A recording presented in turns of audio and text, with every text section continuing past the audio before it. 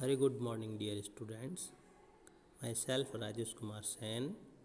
Welcome to online classes of An Academy. कल हमने हमारे साइंस का नया चैप्टर बिगिन किया था acid bases and salts yesterday we discussed about the main objectives of this chapter and uh, new terms of this chapter now we will start the topic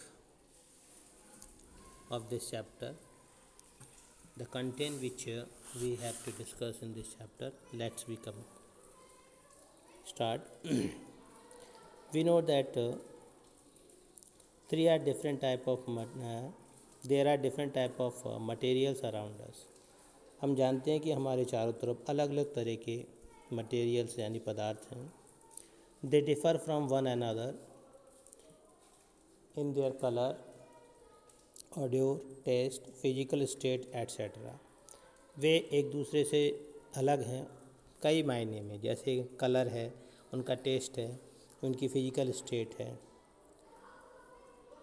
We often use these properties to classify substance and and generally हम इन properties का substances को classify यानी वर्गीकरण करने में इसका उपयोग करते हैं, उनको डिफ्रेंशिएट करने में हम इसका यूज़ करते हैं।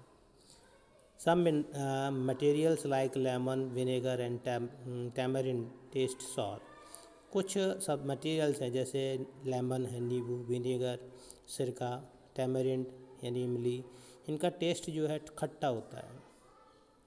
These materials taste sour due to the presence of chemical called acid in materials का टेस्ट सॉर यानी खट्टा होता है।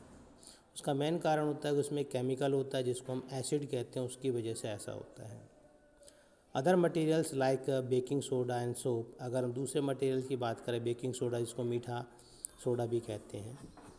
सोप साबुन का जिसका हम इस्तेमाल करते हैं। हैव ए बिटर टेस्ट इनका जो टेस्ट होता है वो कसैला होता है बिटर होता है। It is due to the presence of chemicals called bases इसका मेन कारण होता है, इसके अंदर जो केमिकल होता है, वो बेस जिसे हम कहते हैं, क्षार, उसकी वजह से ऐसा होता है।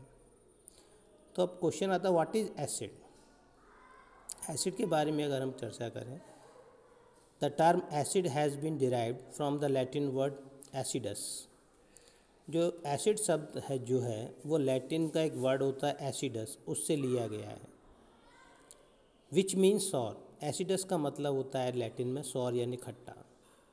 All sour tasting materials contain acid जितने भी खट्टी चीज़ें होती हैं, खट्टे मटेरियल्स होते हैं सब के अंदर एसिड होता है। Acids are classified into two categories acid को दो कैटेगरीज में क्लासीफाइड किया जाता है। Mineral acid and organic acid पहला आपका मिनरल एसिड है, दूसरा है ऑर्गेनिक एसिड मिनरल यानी जो खनिज